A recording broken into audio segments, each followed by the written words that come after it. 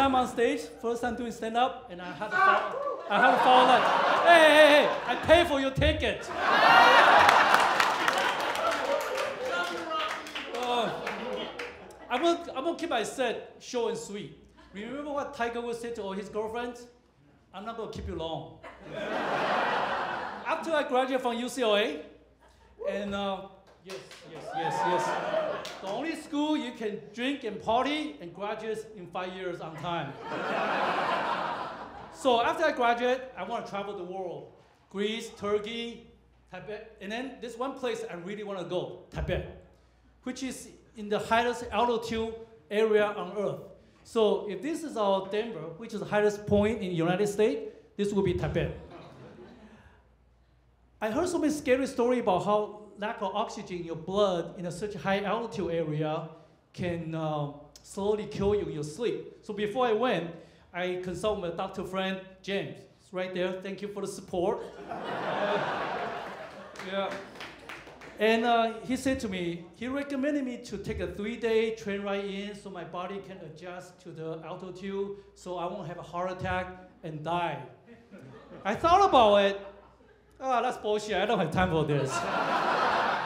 so I took a direct flight to Tibet, got in, dropped my bag off. I want to go see the Topola, Topola Palace, which is the highest point of Tibet, right?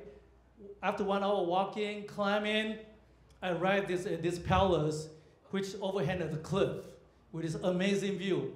My heart is fine, no problem with any of the high altitude issues. I'm sitting there, whoa, James is an idiot.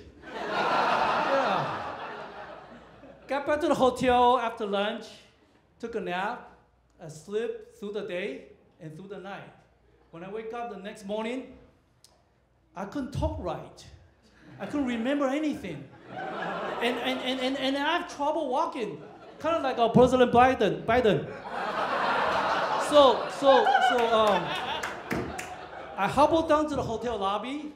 I asked the manager, yo, dude, uh, can you give me a taxi to the local hospital? I don't feel too well. I think I have the high altitude uh, illness. He looked at me, oh shit, wait, two people died here last week. and, and, and, and, and my sister came and visited me uh, last year. No, she didn't die, but she still can talk. Uh, I spent the entire week in the local hospital, missed the rest of the Tibet. When I get back, I put health as my priorities. So eventually, I dis- discovered CrossFit.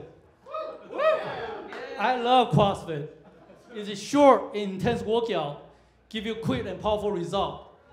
Kind of like taking Viagra. Um, right, Brian? Yeah.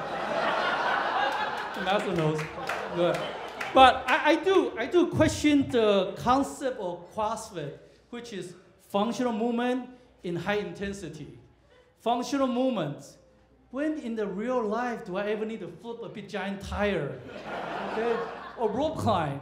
Or my favorite, handstand walk.